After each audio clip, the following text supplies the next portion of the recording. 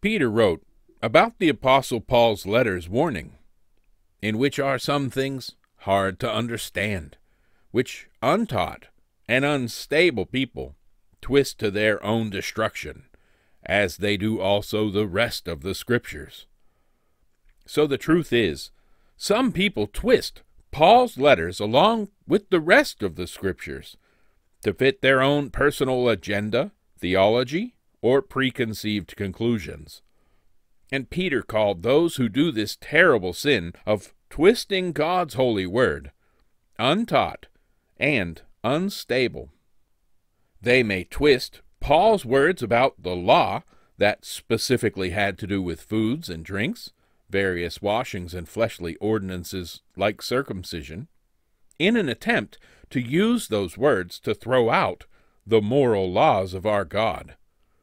Or they may twist Paul's words about foods and drinks, various washings and fleshly ordinances, in an attempt to pretend that those things still matter to God in the new covenant.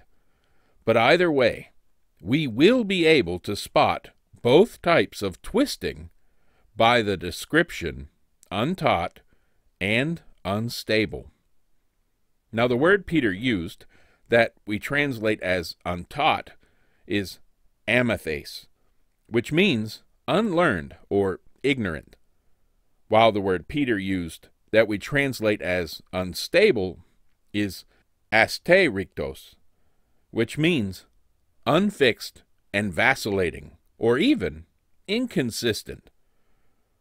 In the way all sound Bible scholars carefully avoid being ignorant, unfixed, and inconsistent with the way they handle the scriptures is they develop an educated, consistent, harmonious, fixed method of interpreting the Bible that they call their hermeneutic. And a sound hermeneutic will read every verse of Scripture in the same educated, consistent, harmonious way, regardless of whether the passage says, Man shall not live by bread alone, but by every word that proceeds from the mouth of God, or if in the context of food it declares, For every creature of God is good, and nothing is to be refused if it is received with thanksgiving. And with this in mind, exactly ten months ago, we looked very carefully at how Jesus and his apostles and disciples interpreted the Scriptures, and we developed an educated, careful, consistent, harmonious, fixed method of interpreting the Bible based on Scripture alone. Therefore, before we move on to consider more of what the apostles and disciples of our Lord wrote about the foods and drinks, various washings, and fleshly ordinances of the first covenant, we need to pause to consider exactly what hermeneutic we have used as we have interpreted the passages we have studied so far and I ask you all to judge today if I have been consistently following the interpretational method of Jesus and his apostles and disciples. In six individual sermons over the last few months, we have looked at, for example, the diet God gave Adam and Eve, the diet God gave Noah, the diet God gave Israel, the dietary changes God announced to Peter, and the dietary conclusions of the Jerusalem Council in Acts. However, we have documented, as we studied the passages of the Bible that discuss those diets, that there are certain teachers who challenge the plain wording of Genesis chapter 9, allegorize Peter's vision in Acts chapter 10, and contradict the conclusions of the apostles and elders in Acts chapter 15. So, with all we have learned so far about Genesis 9, Acts 10, and Acts 15 in mind, let us remember that our foundational principle in every category of biblical study is Jesus, our Messiah, is the key to properly understanding the Word of God.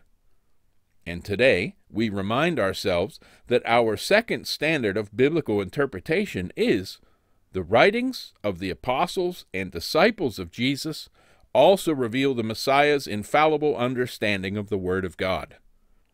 Plus, today, we remember that our third standard of biblical interpretation is we must never set aside a single word of the Holy Scriptures unless Jesus or his apostles clearly and indisputably set it aside. Yes, the writings of our Messiah's apostles and disciples reveal how we must approach biblical interpretation or hermeneutics. So let's go back and look again at a passage where Jesus quotes from the first 39 books of the Bible in the final 27 to remind ourselves how our omniscient King interpreted Holy Scripture. Matthew recorded, the Pharisees also came to Jesus, testing him, and saying to him, Is it lawful for a man to divorce his wife for just any reason? And Jesus answered and said to them, Have you not read that he who made them at the beginning made them male and female, and said, For this reason a man shall leave his father and mother, and be joined to his wife, and the two shall become one flesh? So then, they are no longer two, but one flesh. Therefore, what God has joined together, let not man separate. Here, Jesus quoted the Septuagint word for word while asking the Pharisees if they had even read in Scripture how God instituted marriage in the beginning. And the second time Jesus quoted the exact Greek wording of the Septuagint, he quoted Genesis 1:27.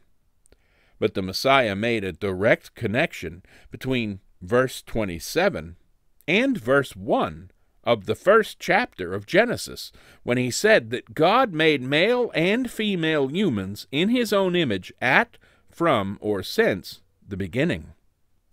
The verse Jesus quoted from says, So God created man in his own image, in the image of God he created him, Male and female, he created them. But many theologians in our modern world would claim that verse 27 occurred long after the beginning. They might say that each day of creation was a long period of time, or that there was a long gap between verse 1 and verse 2 of Genesis chapter 1.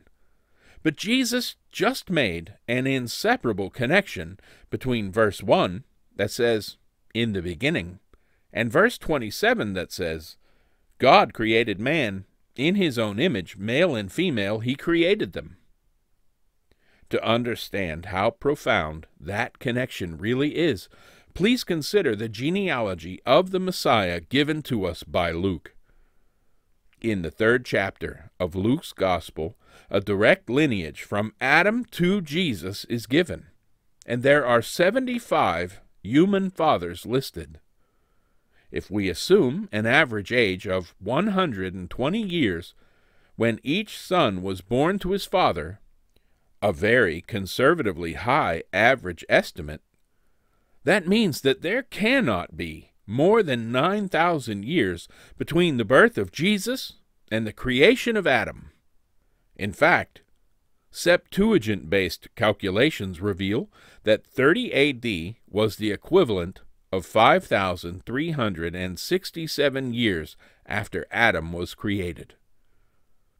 If a person accepts the day age theory that claims each day of creation was a vast period of time, or if a person accepts the gap theory that claims a massive period of time passed between the first and second verse of Genesis, then verse 27, when God created man in his own image, could never be considered the beginning as Jesus said it was.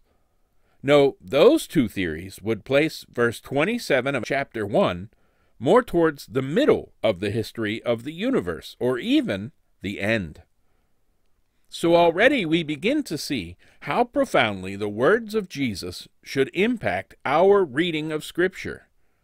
The Messiah said God created man in his own image from the beginning, and that should settle all debates about the reading of Genesis once and for all.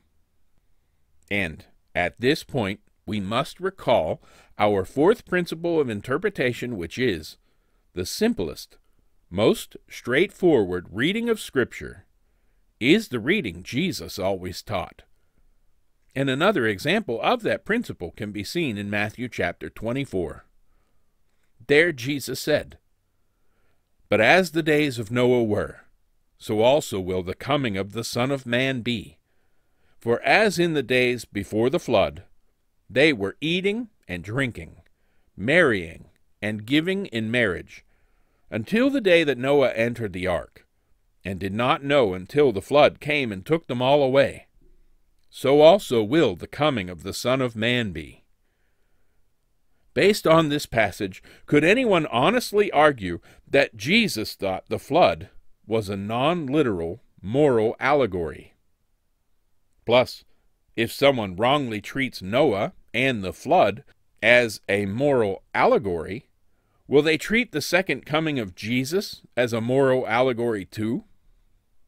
The fact is that Jesus considered Noah a real historical figure who literally entered a physical ark and survived a literal flood that took all of the people who did not enter that ark with Noah away and he compared that literal historical account to how things would be when he literally returned to the earth. And because Jesus took the flood so literally, his apostles took it literally too. After spending almost every waking moment with the Messiah for nearly three years, Peter wrote, God did not spare the ancient world, but saved Noah one of eight people, a preacher of righteousness, bringing in the flood on the world of the ungodly.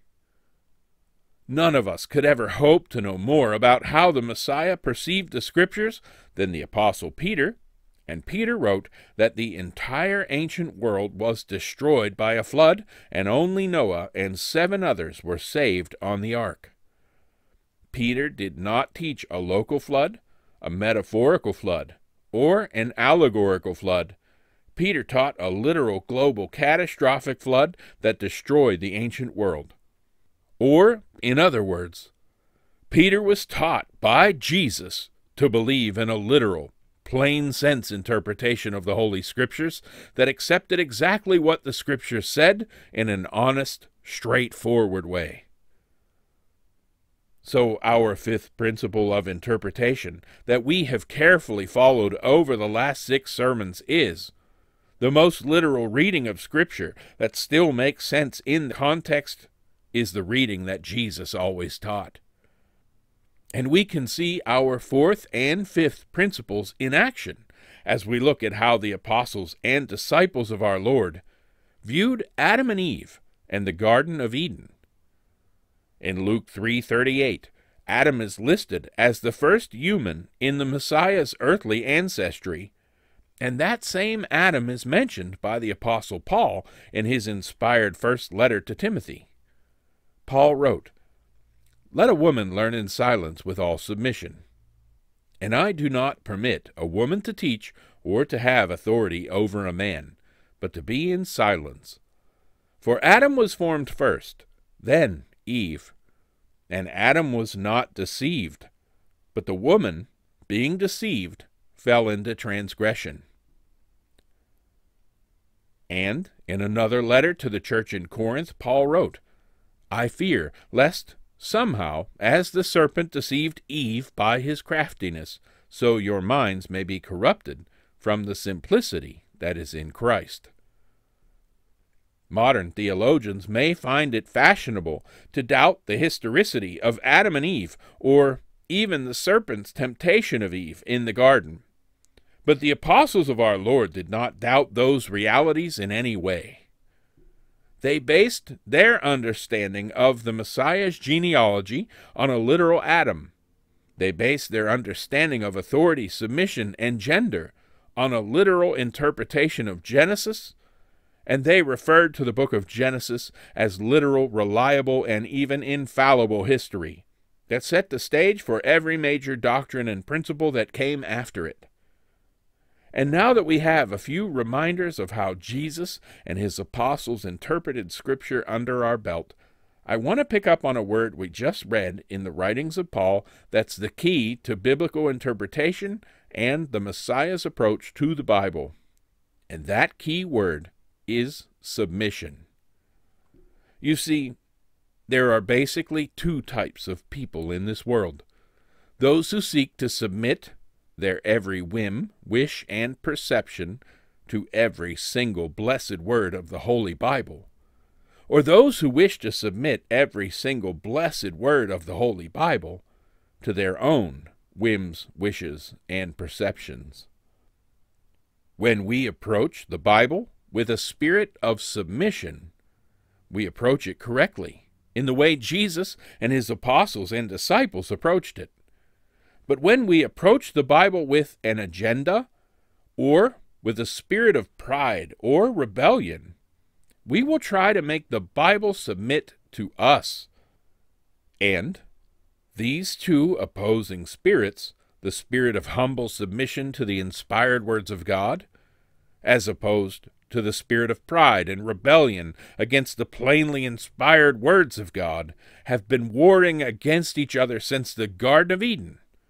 One is the Holy Spirit of the Messiah, and the other is the unholy spirit of Satan. Please note the spirit of holy submission in the words of our Messiah, who said, He who rejects me and does not receive my words has that which judges him. The word that I have spoken will judge him in the last day. For I have not spoken on my own authority, but the Father who sent me gave me a command, what I should say and what I should speak. And I know that his command is eternal life. Therefore, whatever I speak, just as the Father has told me, so I speak. And in another place he said, When you lift up the Son of Man, then you will know that I am he, and that I do nothing of myself. But as my Father taught me, I speak these things. And he who sent me is with me. The Father has not left me alone, for I always do those things that please him. Brothers and sisters, the reason that Jesus never sinned is because he never said anything or did anything that contradicted his Father's will. He perfectly and willingly submitted himself to every single word that proceeded from his Father, and he has instructed us to do the same. And this leads us to our sixth principle of interpretation, which is the most humble and submissive reading of Scripture is the reading Jesus always taught. But Satan always tries to twist God's Word and tempt us to violate it. And this epic battle between God's Word, Satan's lies, and our free will is the story of mankind. But please make no mistake, this saga has a direct impact on the history of biblical interpretation just as Satan deceptively whispered to Eve in the garden, has God indeed said, and you will not surely die, to cause her to question and even reject the truth of God's word. Satan still whispers similar lies to theologians to tempt them to look at things according to their own fallen and fleshly perspective. And just as Eve began to evaluate her world according to her own perspective, we fall when we interpret the Bible with any external perspective that contradicts the literal, plain sense perspective the Holy Scriptures present. Or said another way, we must allow Scripture to speak for itself. We must interpret Scripture with Scripture, and we must constantly adapt our perspective to match God's perspective as it is plainly presented. Because if we don't, we will philosophically add to or take away from God's Word in ways that are just as dangerous as the cults that add to or take away from the 66 books of the Holy Bible. In the first century, cults like the Sadducees and the Samaritans only believed the books of Moses were Holy Scripture, and Jesus openly rebuked them for that error. And in our century, Groups like the Mormons or the Catholics are labeled as cults by many because they add to and take away from Scripture. But we can philosophically do the same thing when we arbitrarily label Peter's vision as symbolic or say things like Peter's vision had nothing to do with food. As we have noted, a symbolic vision of animals in a sheet would not include a command to rise, kill, and eat. And nowhere in Scripture is an interpretation given for Peter's vision that lays out what the animals were symbolically representing or what the commands really meant. Plus, Peter obviously thought the vision of the animals in the sheet, along with the command to rise, kill, and eat, was about food, since he replied, Not so, Lord, for I have never eaten anything common or unclean.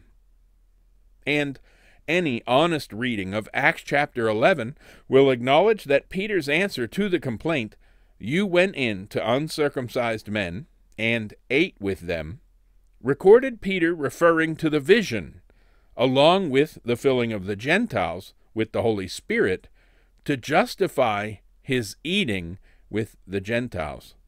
So, Scripture itself will always eliminate man's faulty interpretations if we handle it honestly and thoroughly while seeking the truth with childlike trust. And this is why the Messiah so frequently asked, Have you not read? And essentially warned, You are mistaken due to a lack of knowledge in the Scriptures. And this leads us to our seventh principle of interpretation, which is the most harmonious, all inclusive, and comprehensive reading of Scripture is the reading Jesus always taught.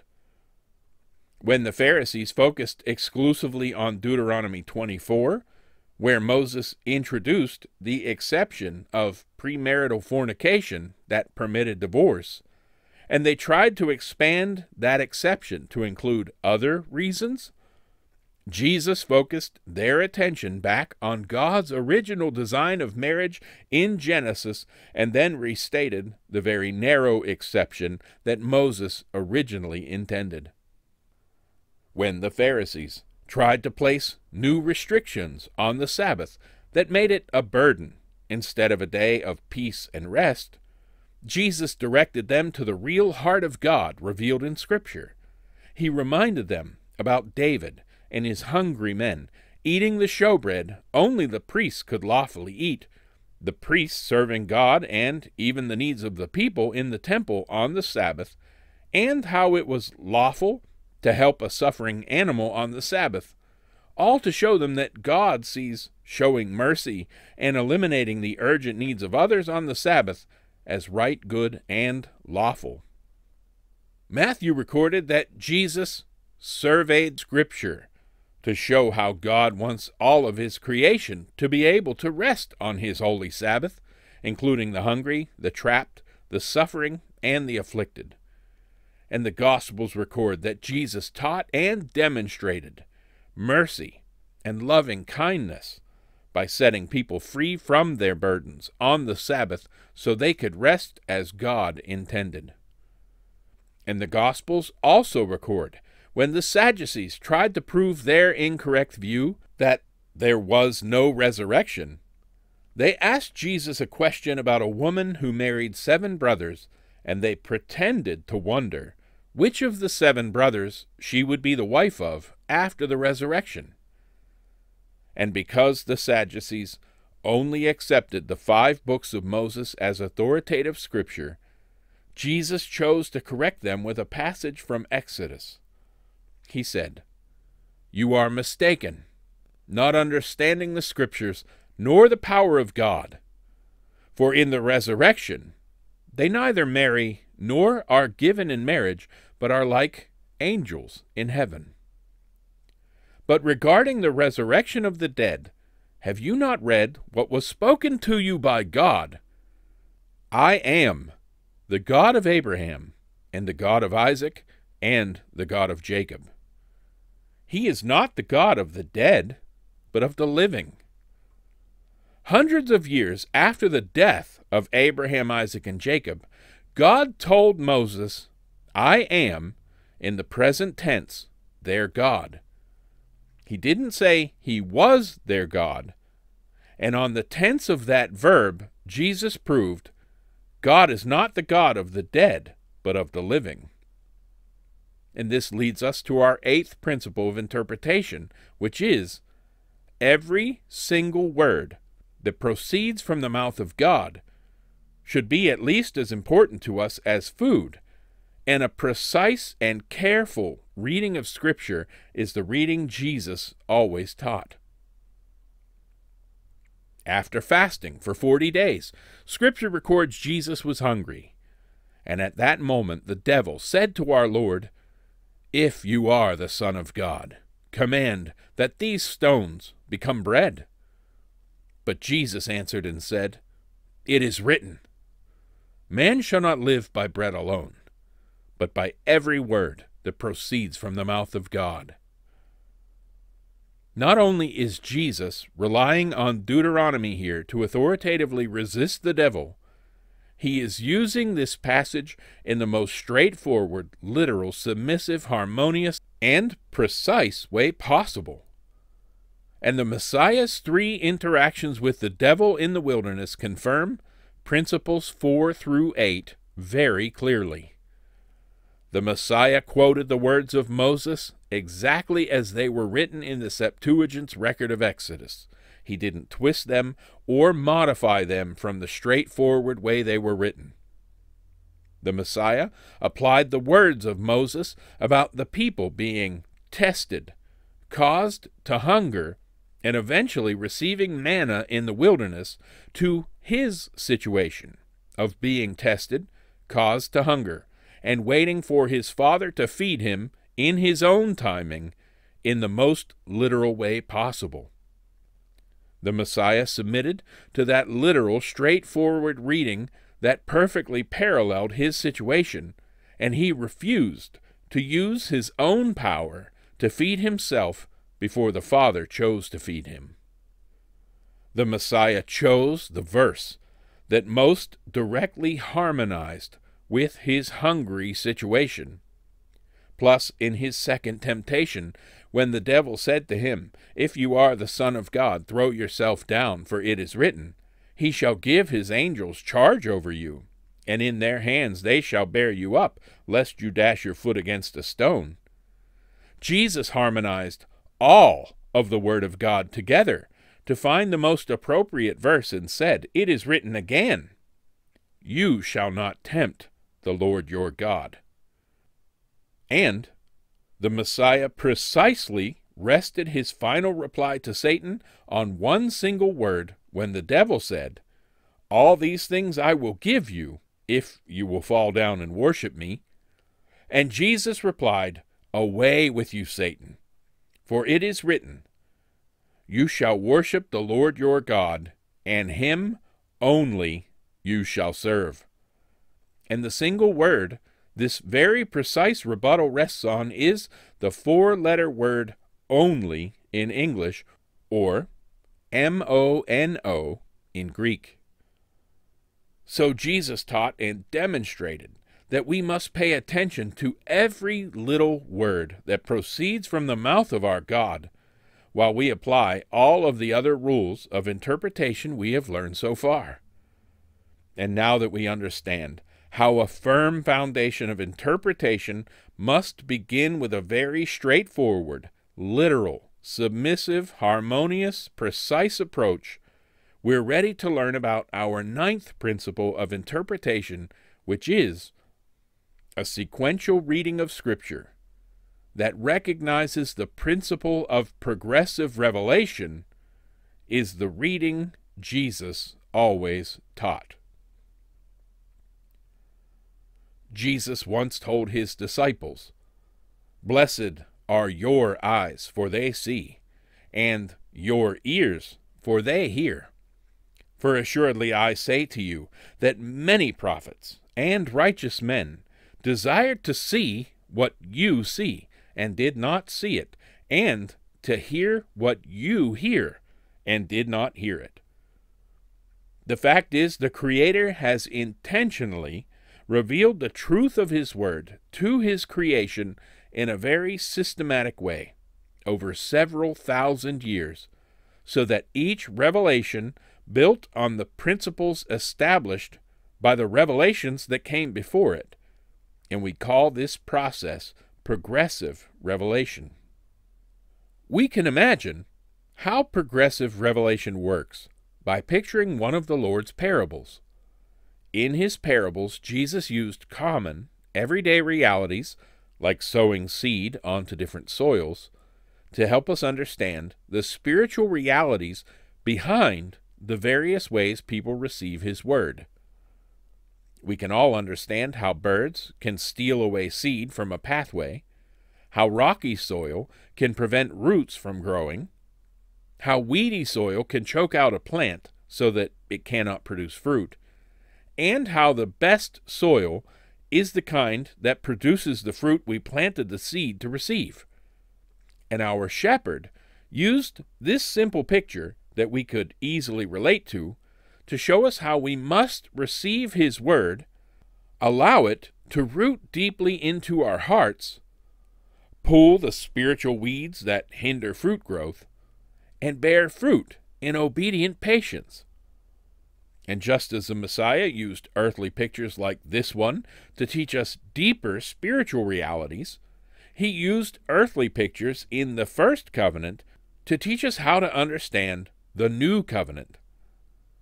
This does not mean that the history, principles, commandments, and situations of the first covenant are not to be understood as historically literal, morally literal, or implicationally literal, it simply means that we can also see them as typologically or parabolically literal.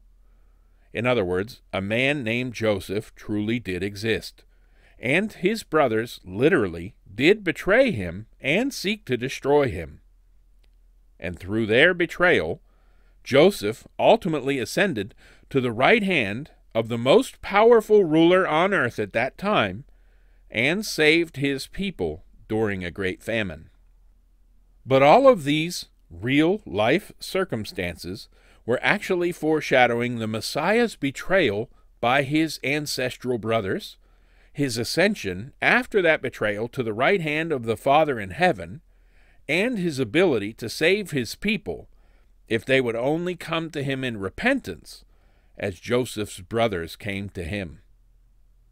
These types or parables fill the pages of the first 39 books of the Bible, and men like Moses, Joshua, and David are meant to point us to the Messiah, the ultimate revelation of God to mankind. In the first covenant that began at Passover, when the people were set free by the blood of a lamb slain on the fourteenth day of the first month, pointed forward to the new covenant that began at Passover when the true Passover lamb was slain on the fourteenth day of the first month. And every event commemorated in the feast cycle of the first covenant represents a very specific messianic event in the new covenant in the Messiah's blood. Truly, just as the people were set free from their slavery in Egypt in the first covenant, we are set free from our slavery to sin in the new covenant. But Jesus mediates the new covenant in the place of Aaron and Moses, and he serves as high priest of a better covenant in a better tabernacle in the heavens. So we must understand Jesus didn't come to tear down or set aside the shadows and types of the first covenant. He came to fill them to the full and reveal the deeper truths they always pointed to in God's divine plan of progressive revelation. And we must not look at the first 39 books of the Holy Bible as no longer directly relevant. Instead, we must see them as the framework required to properly understand the glorious revelations of the final 27 books. And we can only set aside those things the Lord and his disciples indisputably set aside in the pages of Holy Scripture, such as the foods, drinks, various washings, and fleshly ordinances of the first covenant that were imposed until the time of Reformation. And this passage in Hebrews reveals that there are two different forms of progressive revelation. There is the type of progressive revelation that adds to and builds on top of the foundations established in the first 39 books. And there are a few very specific items within the earlier revelation of the first 39 books that were only imposed until the Messiah was fully revealed. This is why we don't slaughter animals for sin sacrifices we don't perform ritual washings for customary impurities. We don't compel anyone to be circumcised. And we don't judge one another on food or drink, or a particular of a new moon or Sabbath. Yet we insist, with the Jerusalem Council, that all Christians must avoid sexual immorality, things offered to idols, things strangled, and blood. And with a firm understanding of progressive revelation established, we are ready to learn about our tenth principle of interpretation, which is in passages that cannot be understood literally, there is a literal meaning confirmed by at least two or three other biblical witnesses, and that literal reading is ultimately what Jesus wants us to understand. Even though Jesus said, I am the door of the sheep, no one who has read the rest of the Bible thinks that Jesus is a literal slab of wood hung on hinges with a handle. By reading the rest of what the Bible has to say, we understand that Jesus is the only way into the kingdom of God and the only way that we can be saved. And in that way only, Jesus resembles a door. Additionally, even though Jesus said, Behold, I stand at the door and knock, if anyone hears my voice and opens the door, I will come in to him and dine with him, and he with me. He was not telling us to go home immediately and open our literal front door so he can come in and eat lunch with us today, nor was he telling us to preach to sinners that Jesus is knocking at the door of their heart and they have to let him in by accepting him as their Savior. No, Jesus told us exactly what the metaphor meant by its context, and especially by the words he said just before the verse I just read. You see, Jesus was speaking to the church in Laodicea when he said, As many as I love, I rebuke and chasten. Therefore, be zealous and repent. So, this was said to a church, not to an individual, and Jesus was knocking on their metaphorical door by rebuking and disciplining them. And all they had to do to metaphorically open the door was be zealous and repent. And there's a big difference between accepting Jesus as our Savior compared to zealously repenting and calling Jesus Lord, which means Master. Someone can accept the saving help of a fireman, if their house is burning to the ground, without submitting to the will and commands of the fireman. But no one can accept the saving help of Jesus Christ without repenting of their sin and submitting to his lordship in their life. So, this popular little passage shows us how we must use the literal passages to understand non literal passages, because no prophecy of Scripture is of any private interpretation. And today I contend these ten principles of biblical interpretation that the Messiah and his disciples relied on have helped us over the last several weeks consistently and correctly understand the Holy Word of God, from the very first Hebrew word of Genesis to the very last Greek word of Revelation.